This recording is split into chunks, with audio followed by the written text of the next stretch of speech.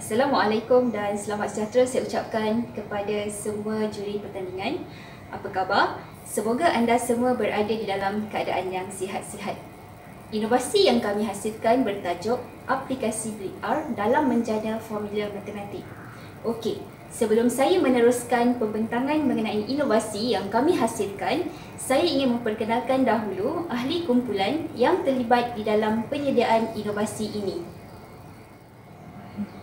Ahli kumpulan kami terdiri daripada saya, Puan Nur Hazwa binti Nafi dari Politeknik Merlimau Melaka, Puan Samsino binti Ibrahim dari Politeknik Merlimau Melaka dan Puan Faizah Kamisan dari Politeknik Muazzam Shah Pahang. Aplikasi pembelajaran secara digital merupakan salah satu medium pembelajaran yang dibentuk untuk membantu memudahkan pensyarah dan pelajar dalam proses pengajaran dan pembelajaran secara atas talian. Persekitaran pendidikan semasa fasa pandemik COVID-19 yang melanda seluruh dunia pada masa kini menyebabkan kebanyakan tenaga pengajar di sekolah mahupun di institusi pendidikan tinggi perlu beralih arah dari sisi pengajaran dan pembelajaran secara bersemuka kepada pengajaran dan pembelajaran secara atas talian. Oleh itu, gadget menjadi medium utama dalam kalangan pelajar untuk membantu mereka dalam proses pembelajaran. Selain itu, penggunaan pelbagai aplikasi digital membolehkan tenaga pengajar mempelbagaikan teknik pengajaran dan pembelajaran yang berunsurkan interaktif dan kreatif bagi menarik minat pelajar semasa proses pengajaran dan pembelajaran dilaksanakan. Penggunaan kaedah augmented reality dalam proses pengajaran dapat membantu tenaga pengajar dalam menyampaikan pengajaran yang berunsurkan interaktif. BlinkR merupakan salah satu daripada aplikasi yang dibangunkan di bawah augmented reality ini. AR ini merupakan teknologi yang dibangunkan untuk membolehkan penggabungan secara nyata kandungan digital yang dibuat di dalam komputer dengan dunia nyata.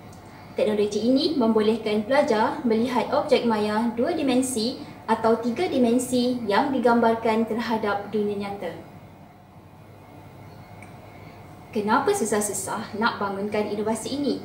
Pertama sekali, persekitaran pendidikan di waktu pandemik COVID-19 yang melanda seluruh dunia menyebabkan kami, tenaga pengajar politeknik perlu beralih arah dari sesi pengajaran dan pembelajaran secara face-to-face kepada pembelajaran secara digital. Keduanya, apabila pembelajaran secara digital dilaksanakan, pelajar-pelajar akan menggunakan handphone atau laptop mereka untuk berada di dalam sesi pembelajaran dan pengajaran tersebut apa masalah yang menyebabkan kami menghasilkan inovasi menggunakan aplikasi BlipR ini? Inovasi ini terhasil disebabkan terdapat pelajar-pelajar kami yang mengambil subjek Business Mathematics mendapat markah yang rendah untuk penilaian kerja khusus mereka terutamanya yang melibatkan kuis dan ujian.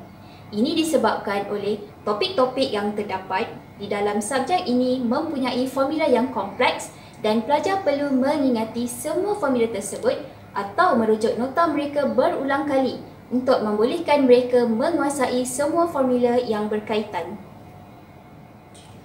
Tidak dinafikan, ada pelajar-pelajar yang cemerlang yang boleh menghafal dan mengingati formula-formula tersebut dengan mudah.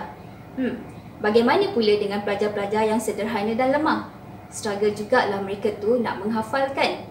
Jadi, melalui masalah-masalah seperti inilah, maka terhasillah inovasi formula matematik menggunakan aplikasi BlipR ini.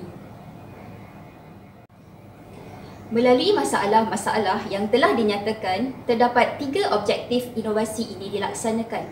Objektif pertama adalah untuk mengenal pasti tahap kepahaman pelajar terhadap semua formula yang terdapat di dalam kursus DPB 253 Business Mathematics Objektif yang kedua ialah untuk mengenal pasti tahap penguasaan pelajar dalam mengingati semua formula yang terdapat di dalam kursus ini. Manakala objektif yang ketiga adalah untuk menarik minat pelajar terhadap kursus DPB 253 Business Mathematics. Terdapat tiga kelebihan inovasi ini. Yang pertama, untuk menarik minat pelajar terhadap semua formula matematik yang dipelajari. Yang kedua, melihat tahap penguasaan pelajar dalam memahami dan mengingati semula formula-formula matematik tersebut. Yang ketiga, pelajar boleh membuat capaian formula di mana sahaja melalui telefon pintar mereka. Menurut Jensen et al. di dalam bukunya yang bertajuk Learning with Technology, lebih mudah mengingati formula sekiranya mereka menggunakan tiga panca indera utama iaitu penglihatan, pendengaran dan juga berfikir. Bagaimana inovasi ini diguna pakai oleh pelajar? Terdapat empat langkah yang perlu dilakukan oleh pelajar untuk menggunakan inovasi ini. Langkah pertama, pelajar perlu memuat turun aplikasi BlipR melalui Play Store di handphone mereka yang kedua, pelajar perlu memasukkan test kod yang diberikan oleh pensyarah kursus. Langkah ketiga, pelajar perlu mengimbas gambar yang diberikan oleh pensyarah kursus. Dan yang keempat, klik pada formula yang tertera.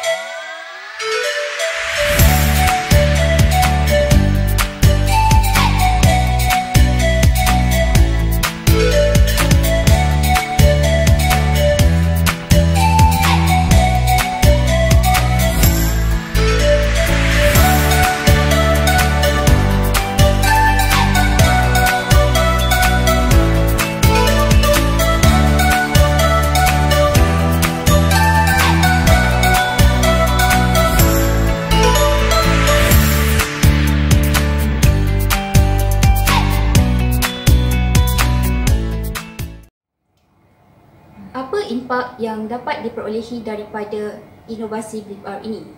Diharapkan melalui inovasi BlipR ini, para pelajar dapat mencapai sasaran course learning outcome serta penilaian kerja khusus dan penilaian akhir. Yang kedua, meningkatkan pencapaian grade keseluruhan pelajar dalam kursus bisnes matematik. Yang ketiga, membantu meningkatkan kefahaman pelajar terhadap formula-formula matematik sebelum penilaian akhir dilaksanakan dan yang keempat, meningkatkan keseluruhan grade pelajar di dalam penilaian akhir mereka. Selain daripada impak terhadap pelajar, inovasi ini juga diharapkan dapat membantu para pensyarah mengenal pasti tahap pemahaman dan penguasaan pelajar terhadap formula-formula matematik. Yang kedua, membantu pengenal pasti pelajar-pelajar yang kurang memahami dan menguasai formula-formula matematik ini.